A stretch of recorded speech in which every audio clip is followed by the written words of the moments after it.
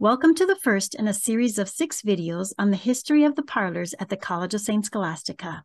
My name is Heidi Johnson, and I am the archivist for the college. In 1907, the Sisters of St. Scholastica Monastery purchased the last 40 acres of land that completed their 160 acre campus. Fortuitously, this last parcel included a vein of gabbro rock or bluestone that was then quarried to build Tower Hall that was also starting to be constructed that year. The first half of Tower Hall was completed in 1909 with students and sisters moving in that fall.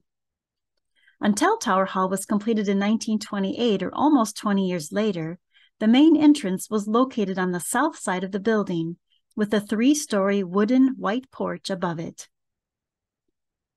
Tower Hall was originally designed by local architects German and Lignell in the English Tudor style. This architectural style includes crenellated turrets, square arches above the windows, and is similar to the Hampton Court outside of London where Henry VIII, whose last name was Tudor, lived over the years with his six wives. Mother Agnes Somers became prioress and president of our college in 1924. Her first building project was to complete Tower Hall that still only had one tower that had been built in 1920 and looked very much half done. She was an Anglophile and loved British style. She designed especially the new main entrance or foyer to Tower Hall, nestled between its completed two towers with exquisite details that featured those characteristics, as well as Benedictine symbolism.